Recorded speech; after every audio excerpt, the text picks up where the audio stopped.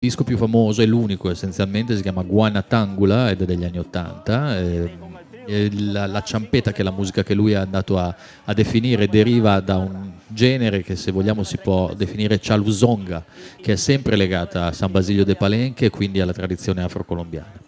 È una musica ripetitiva, tribale, eh, non saprei come, come, descriverla ulteriormente, è fatta di stratificazioni percussive e ritmiche, chitarristiche e non solo, quindi ognuno, eh, cioè o meno qualsiasi persona presente in un luogo può aggiungere un piccolo strato a questa dire, composizione multistrato per l'appunto e andare a comporre quello che è un tessuto ritmico estremamente ripetitivo, estremamente tribale, estremamente coinvolgente e travolgente. È come se fosse un embrione di una Soul Sacrifice di Santana o eh, genere che abbiamo conosciuto magari nel mainstream con eh, il repertorio dei Mano Negra.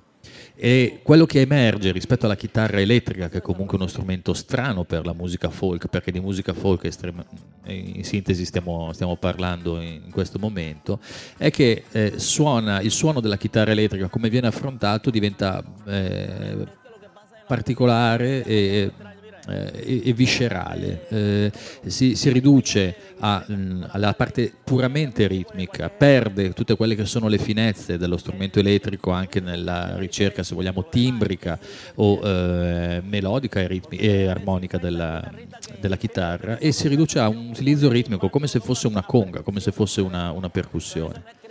La ciampetta è fatta di strumenti originariamente acustici, quindi le congas, le percussioni di vario tipo, l'utilizzo delle voci, dei cori, un contrabbasso che poi in realtà diventa un basso elettrico e appunto la chitarra elettrica che ha essenzialmente la necessità di essere amplificata per farsi sentire eh, rispetto agli altri, agli altri, strumenti. Ancora una volta il termine ciampeta è eh, una come dire, un brutto modo di definire una popolazione, perché la ciampetta originariamente indicava il coltello, un coltello simile al macete che era usato nella, nella regione colombiana, in, al lavoro, in cucina o come arma offensiva, e ovviamente era utilizzato dalla, dagli strati più poveri della, della, della, popolazione. Negli anni Ottanta diventa un, eh, un genere da, da, ballo, da festa, e il eh, suono che ne, che ne esce arriva ad affascinare fino ai giorni nostri. Ovviamente mi chiedo che cosa sia in un musicista così particolare, così strano, così remoto, la cosa che tocca mia, il mio immaginario di, di uomo europeo. No? credo che questo sia essenzialmente, anzi principalmente, nella sonorità cosiddetta chuang della, della chitarra di, di, Abelardo Carbonò. Quindi questo suono eh, che viene definito uno sferragliamento musicale, no? tipico della, di, alcune, di alcune chitarre particolari per chi è più per chi è più esperto sono le, le Fender, essenzialmente le Telecaster, le Stratocaster, oppure anche le Gretsch anche hanno questo tipo di suono, molto acuto, molto eh, percussivo, nel senso che vai a sentire la corda che sbatte sul manico, sui tasti, sui pick-up. E Abelardo Carbonò ha questo tipo di, di sonorità. È un suono, il chuan, quasi sempre riferito a sonorità vintage, a suoni puliti, carichi di frequenze, alte e medio-alte principalmente, e ancora più spesso lo, si riferisce a Mm, timbriche che vanno al rock and roll dalle origini, al country, al rockabilly. Per esempio, per fare un esempio che mm, sia universalmente comprensibile, il twang è un po' il suono delle chitarre nei dischi di Johnny Cash, dalla musica country al country rock, oppure mm, nella ricerca che fanno determinati chitarristi in genere country per cercare di replicare il timbro del banjo. Ovviamente qui parte una questione di gusto, un tipo di sonorità combinato a quella che è una saturazione analogica del suono, cioè il fatto che una chitarra, soprattutto negli anni 50, veniva inserita in un amplificatore per avere il volume degli altri strumenti e gli amplificatori non sempre raffinati, più venivano eh, alimentati in termini di volume, più andavano a distorcere il suono, creando quello che è poi oggi una sonorità che viene forzatamente replicata con strumenti anche, anche digitali. Un'altra particolarità di questo tipo di suono, ad esempio, è il tremolo. Il tremolo è una fluttuazione ritmica, è un effetto essenzialmente elettromeccanico, uno dei primi effetti musicali che sono stati applicati alla chitarra. Basti pensare ai lavori di Big Bill Bronzy piuttosto che Muddy Waters o, o Bo Diddley che eh, utilizzando la chitarra elettrica per il blues in amplificatori eh, rudimentali, eh, primordiali vorrei dire, andavano a trovare questo tipo di sonorità molto particolari. È stato progettato circa 80 anni fa e combinato con il twang, combinato con la, la, la saturazione dell'amplificatore va a comporre quello che è un timbro essenzialmente originale, particolare ed evocativo. In Colombia abbiamo altri esempi fantastici di questa chitarra psichedelica. Chiamatemi il regista che fra un po' ne ho bisogno, per favore, grazie. E anche più virtuosi, sì, no, io cerco di fare un racconto romantico, però poi il regista sparisce. E anche più, eh, approcci più virtuosi di quello che è eh, l'approccio elementare di, di Abelardo Carbonò ma soprattutto parliamo di una chitarra elettrica che non è quella che conosciamo nel rock and roll, che non è quella ad esempio di, di Jimi Hendrix, no? come ci siamo spiegati. È essenzialmente una chitarra che deve, deve, farsi sentire.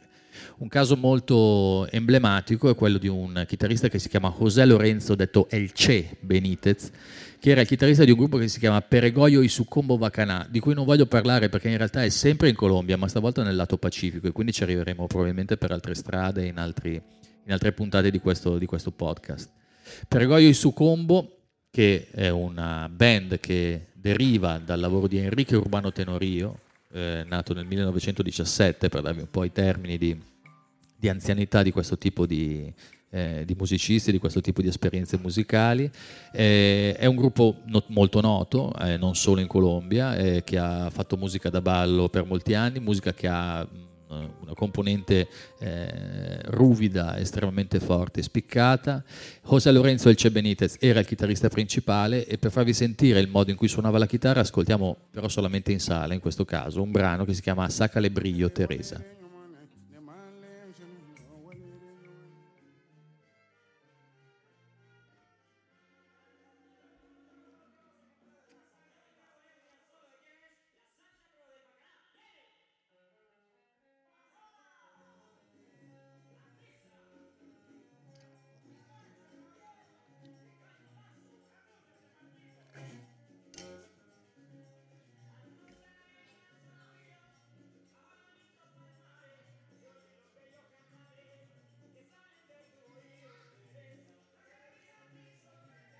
Bellissimo.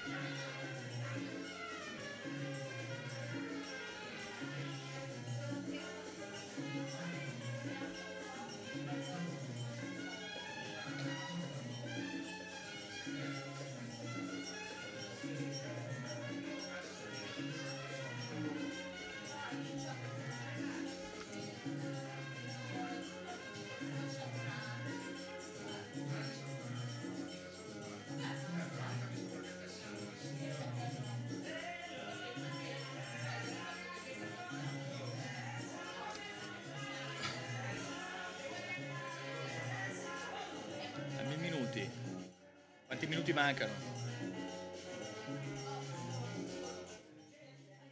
Un minuto e mezzo?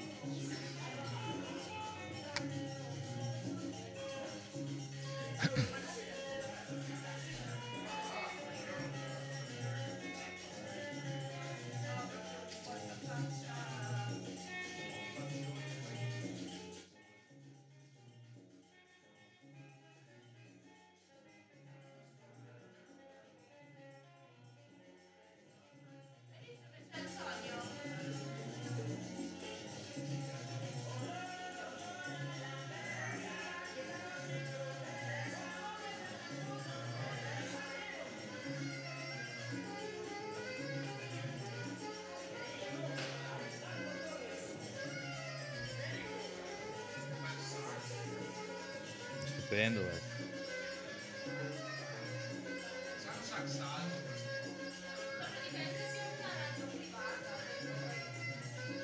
Solo per noi. 30 secondi?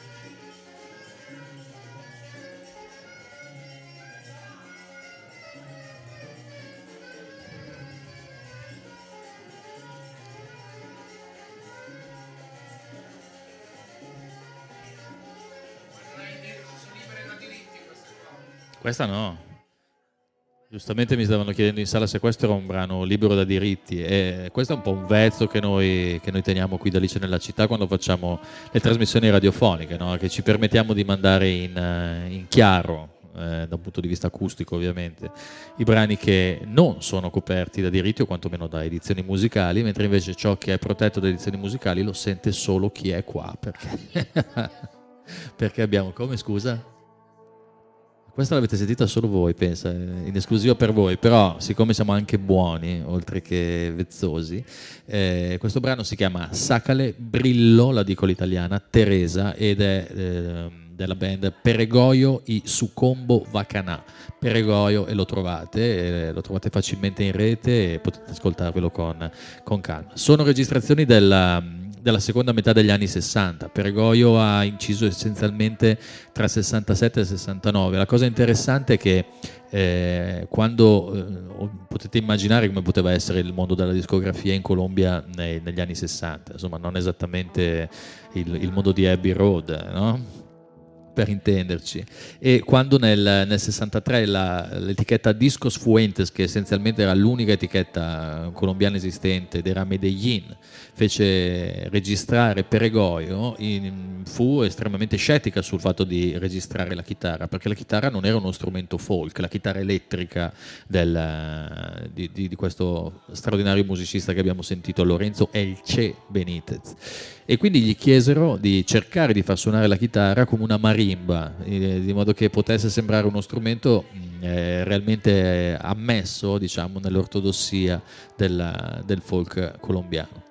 Dopodiché eh, il suo strumento uno, determinò in realtà uno degli, degli elementi portanti di quello che è uno, stile, ricercato anche poi da musicisti eh, contemporanei molto più, più, famosi e richiesti, come ad esempio prima abbiamo fatto un esempio, ma se ne potrebbero fare tantissimi altri, eh, con, i, con, i, Mano Negra, che tra l'altro fecero anche loro un viaggio in Colombia, no? esiste un libro molto bello, si chiama La Mano Negra in Colombia.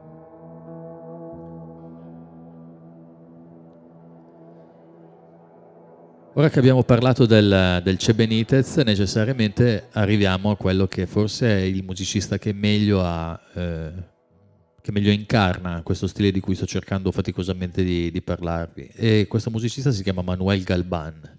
È un musicista cubano eh, che ovviamente ha una relazione molto stretta con Ray Kuder, dal momento che non fa parte del, del, gruppo originale del Buena Vista Social Club, non registra il Buena Vista Social Club nel 1997, ma registra con Rai Kuder il primo disco eh, successivo al Buena Vista Social Club, cioè il disco solista di Ibrahim Ferrer, uno dei vocalist del Buena Vista. Quindi con Ibrahim Ferrer, Rai Kuder prosegue eh, il, il, suo percorso all'interno della, della musica cubana, eh, coinvolge Manuel Galban per la prima volta e eh, ricoinvolge ad esempio Orlando Cacciaito Lopez che è il contrabbassista con cui farà ulteriormente un altro disco eh, stupendo. Eh, Manuel Galban è un musicista cubano con, eh, professionista, con eh, una, una, tradizione lunghissima che parte da una band degli anni 50 e 60 che si chiamavano Los Zafiros. Ehm, con Rai Kuder incide nel 2001, quindi quattro anni dopo il Buena Vista Social Club, due anni dopo il disco solista con Ibrahim Ferrer e ehm, diventa a, a, pieno titolo uno dei, dei, dei, dei punti di riferimento della, delle collaborazioni di Kuder. Tenete conto che il disco eh, fatto da Rai Kuder e Manuel Galban si chiama Mambo Sinuendo, vince un Grammy, è eh, prodotto, prodotto dalla World Circuit Records nella persona di Nick Gold che è un produttore illuminato, eh, alla base anche della produzione di Buena Vista Social Club, insieme a Juan de Marcos González, che era il direttore musicale di questo, eh, di questo progetto ambizioso. Quindi avevamo un discografico, che era eh, Nick Gold, avevamo un produttore, che era Ray Kuder, e avevamo un direttore musicale residente, se vogliamo, che era Juan de Marcos González. E Buena Vista Social Club, di cui però non andiamo a parlare adesso perché sennò è come arrivare un po' subito a, al dolce, no? eh, è come sapete un, un, un, progetto che è stato anche documentato da un punto di vista visivo da Wim Wenders, ma non solo. Eh, Susan Titelman, che è la moglie di Ray Kuder, che è una musicista ma soprattutto una apprezzatissima fotografa, ha realizzato un documentario di circa 30 minuti sul lavoro che Ray Kuder in studio ha fatto con Manuel Galban su Mambo Sinuendo, cioè il disco che hanno fatto insieme, prodotto insieme nel, eh, nel 2003. Si tratta di un documentario autoprodotto di circa di una mezz'ora per l'appunto, eh, si può vedere su,